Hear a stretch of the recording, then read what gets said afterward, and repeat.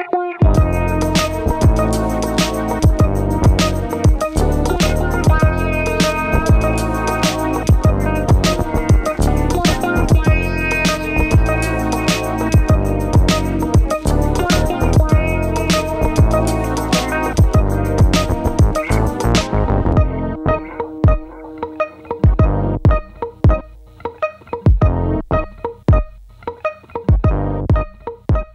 will be the review of the Palit RTX 2060 Super Jetstream graphics card. But it won't be any normal review because, you know, I was thinking of just doing a video where I held the card and showed you guys and showed the benchmark numbers and everything and also did some, you know, shunt modding and showed that benchmark number. But then I found many interesting things. In fact, I've already finished editing and shooting that video, but there was just a lot more things I figured out along the way that I thought it would be not that good for the card if I just came out with that review. So that's why I'm going with this review this time, which I'm just gonna explain everything that I found out of this card because I really found it very interesting working with this card, trying to overclock it and getting the most out of it because I would think a normal review is just, you know, taking a 2060 Super and benchmarking at stock speed would be pretty boring because pretty much you guys know how much uh, 2060 Super performs, like what's the performance. Everyone knows that at this point it's not a brand new card, but what I'm interested in is that the engineering that Palit put on this card and also how does it overclock and you know how does the cooler handle the heat once it's overclocked and everything and how much I can actually push it under NVIDIA's uh, locked voltage limits. So here we go. Uh, first let's take a look at the card itself first. It's a pretty big card. It's a triple slot card and you can see that the card has a massive heatsink over the front of it.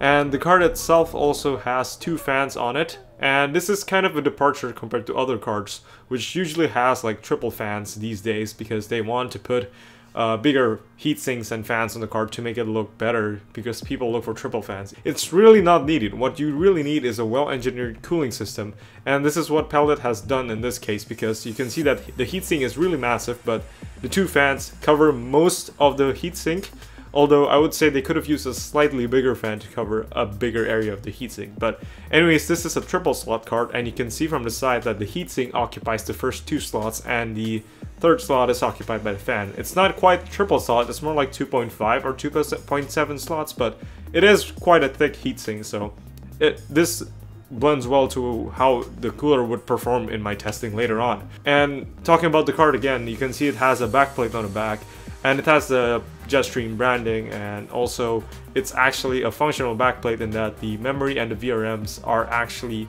thermal padded onto the backplate itself. So it's actually helping dissipate heat instead of being a heat trap. And on the backplate itself you could also see there are cutouts for the GPU area so that it doesn't trap heat.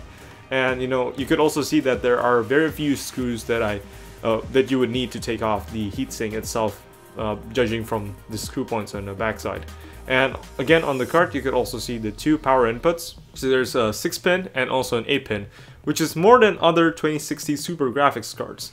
And this is one thing that is also really interesting about this card is that because of this dual power input, which means that they could raise the power limit and still be allowed by NVIDIA to do that because they won't be breaking the uh, power limits of each, each uh, power inputs.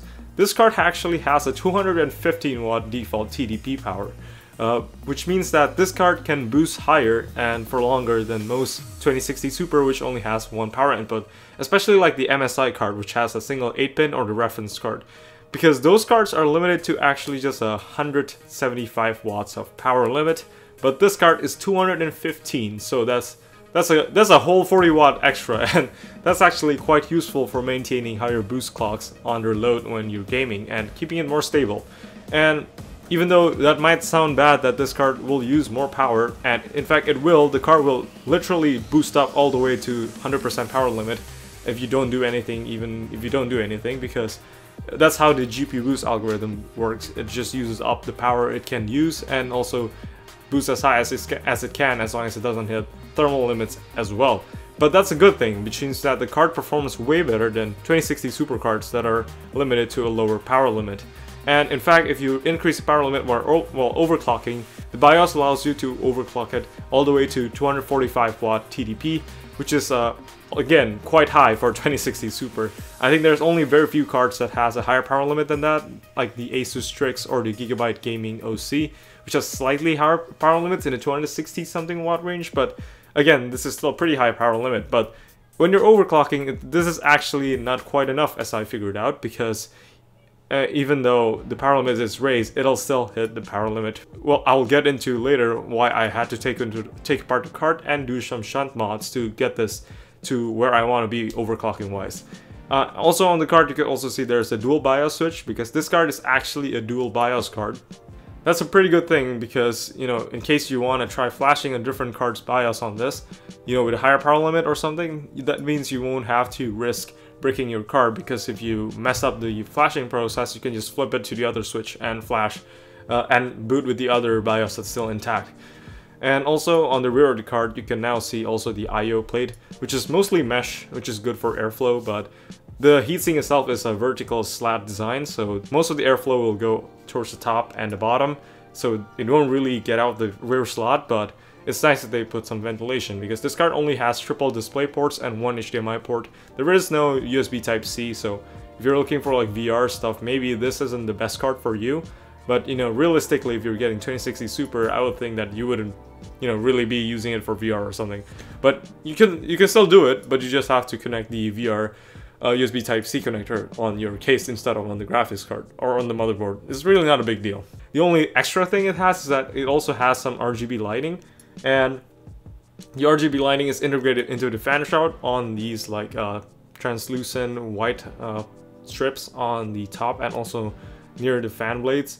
And these light up in any color you want and they have different modes that you can access through their Palit Thundermaster software and you can switch between like having the colors depend on GPU temperature which actually in this case because this this card actually stays really cool it never changes from green in my case and you can also have it switch between all the colors in rainbow puke mode like everyone does to show off their build which is quite boring and you can also choose some static modes and overall this is uh, pretty well implemented in, ter in terms of RGB I think it looks pretty nice well without being looking like looking really gaudy and stuff. And the card still looks nice even without any lighting, unlike some cards with RGB which just looks really plain boring without it turned on.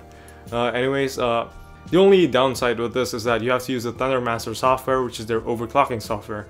And that's the weakness on the software is that I don't think the software is quite the best uh, because if you look at an MSI Afterburner or, or like Asus GPU Tweak, it's a much simpler layout which just shows you the dials in one row for the clock speed and the fan speeds instead of Palit's uh, Thundermaster which puts the settings all over the place and the color is really quite icy ring, to be honest. It's like a really dark or light blue in some cases and it's it's just not that good to me. I, I, hope they fix the software and make it better because that's the only downside I see so far with this card is their software. But you could always overclock it with MSI Afterburner, which is exactly what I will be doing. Anyways, uh, let's take apart this card and take a look at what's inside. So, the first thing that I noticed while I was taking apart this card was that how easy to disassemble this card is because it turns out that all the connectors for the fans and the LEDs are on the outside part of the card. And you can see it here that the connectors are easily accessible. So actually, if you wanted to turn off the RGB lighting without using the software, you could just unplug it and you know it'll run fine. And because it's that accessible, instead of some manufacturers which put the connectors right in underneath the cooler, which is really annoying because sometimes you just want to you know swap the fans or something. You don't want to take off the whole card. With this card, you can actually take off the whole fan shroud and uh, fan assembly and take off the fan connectors as well without taking off the heatsink in case you want to put it in like a mini ITX case and put fans on top of it instead of the stock ones for example like in an NCase M1 or in my case in a Lian Li TU150 which I am using for my personal build and my testing build. Uh, anyways, uh, continuing on, we can see that the big heatsink has a spread, uh, has a base plate that cools the memory and also the VRM is also connected to the heatsink fan. So this is all in all a pretty well designed cooling system in my opinion. And being that the heatsink is actually identical to the 2070 Super and 2080 Super designs, this will be undoubtedly super overkill for a 2060 Super, so I'm quite excited for that for the overclocking part. Now when I got the heatsink off, now we can see that the VRM layout is really quite massive. It's a 10 phase setup, and it has 50 amp power stages for each phase, so this has 550 amps total of current capability, which is just sort of mind-blowing because it's 2060 Super. It doesn't really consume that much power, so this is extremely overkill again. And they're using the same power stages as their higher end cards as far as I know. So they're probably just saving costs by using the same parts across their lineup, but as a side effect, they're using it on the 2060 Super, which is extremely overkill. So this card will be really good if you want to do like LN2 overclocking and volt mods because the VRM is really quite powerful. Now, to the interesting part now, I want to increase the power limit on the graphics card. And on NVIDIA cards, you're really limited by the amount of power you can put the card in terms of overclocking it. So what I want to do is put some uh, liquid metal on the shunts, and what it'll do is that it'll increase the power limiter on the card by making the power readings lower and tricking the card that it's using less power. So that's exactly what I did.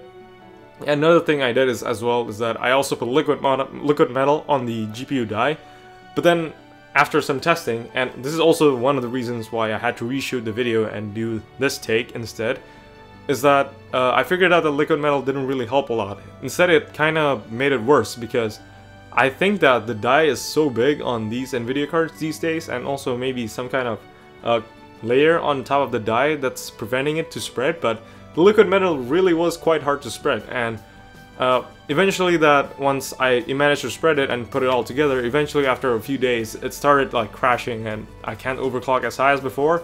So I took it back apart and I figured out that the liquid metal kind of just pulled in one area and left empty spots between the dies. So it's I don't it's not recommended to use liquid metal because it didn't really reduce the temperatures anyways compared to paste. So I reverted back to using a Noctua NT-H1 thermal paste and that's why I managed to overclock higher actually this time with the thermal paste, even though the temperatures look the same to me, because I think there's just less hotspots on the GPU die itself. Now with the thermal paste and just the shunt mods, li uh, liquid metal on the shunts, I managed a pretty high overclock after putting the card together and everything, although I didn't use the stock fans, although they worked just fine in my testing, the temperatures were basically the same as using uh, my Noctua fans instead on them, so Palit really did put pretty good fans on this card. But in my setup, I just wanted it as an exhaust at the bottom of my case, so I used Noctua fans instead, and they pretty much perform the same.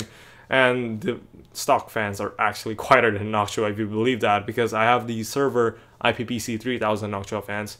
Anyways, with the overclock, what I managed was that I managed 2130 megahertz on the core, and also plus 850 megahertz on the memory.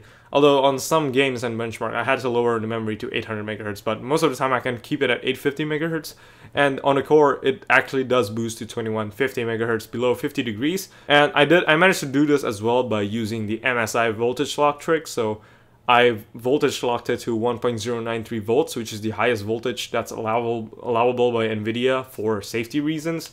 Although I wish you could really increase the voltage, but from my reading online about Turing graphics cards, and even since Pascal, NVIDIA cards don't really respond too well with more voltage on ambient cooling. You really need to keep it cool to scale with more voltage. So if you can keep it under like 40 or 30 degrees, then maybe you're good to add more voltage. But in my case, I'm just using a really fast fan on the stock heatsink, which is still quite capable, but it's still going to like mid 50s, which is still slightly more than like a full water cooled setup so I it wouldn't make sense for me to increase the voltage anyways but I might try some volt mods in the future but I don't think so at this point because 2130 megahertz is already a pretty high score and now when we get onto the results you can see that in 3D Mark points that the card performs pretty well. This is right in line to like one of the fastest 2060 Supers out there. In fact, I got first score on hardware bot on most 3D Mark results except for the Time Spy and Fire Strike itself, but on the higher uh, Extreme and Ultra uh, 3D Mark tests,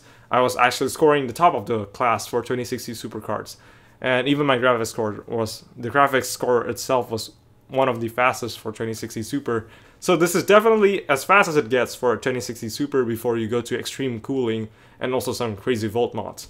And this just shows you that the uh, PCB VRM for this card is actually really well made because uh, it lets me overclock the core to really high core clocks, which means you need, you know, stable power delivery, which this card surely does have with that VRM.